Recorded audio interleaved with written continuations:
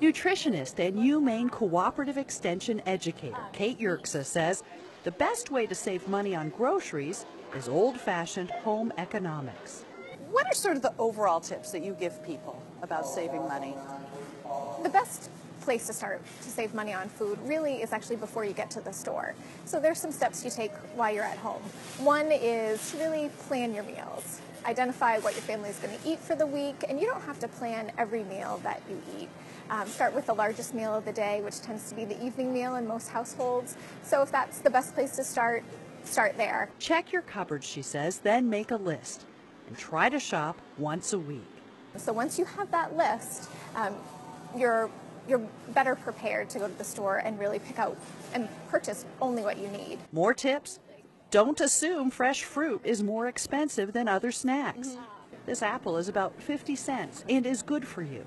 She says, just don't buy more fruit than you need.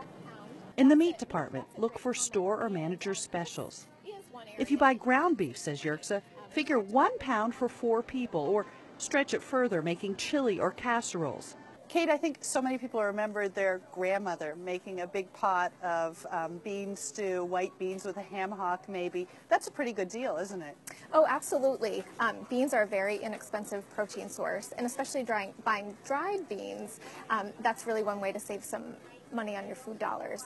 Um, but I think a lot of individuals associate dried beans, peas, or lentils with a lot of work because of the soaking and the cooking. So what do you do? Because the directions on the package usually tell you how to cook one pound, um, but you can only cook you know, one cup at a, at a time if that's all you need. Um, also, you can use canned beans, kidney beans, black beans, um, chickpeas, things of that nature. I know of one recipe that we make in our household. We call it uh, cheesy lentils and rice, and it serves four four people, and the cost per serving is about 83 cents per serving. So it's beans, rice, cheese, and um, chicken bouillon, chicken stock, and you put it in the oven for an hour. It's a very easy, easy dish to make. You can serve it with a salad. It's a great meal. Yerxa says you want to spend your money on foods that are nutritious. In the snack aisle, she breaks down the cost of chips. 12 potato chips cost about 40 cents but they have lots of fat and empty calories. Meantime, popcorn, the old fashioned kind, is a great deal.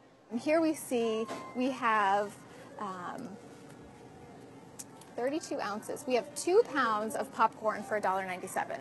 So if we look and see how many servings are in this two pound bag, um, servings per bag about 24. So three tablespoons makes about four and a half cups popped.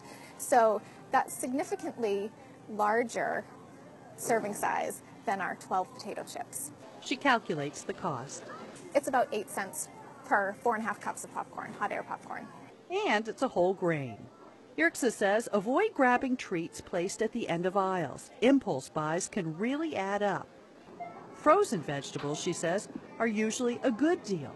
They're inexpensive, frozen at the peak of their ripeness, and last a while. She also encourages people to try store brand cereal.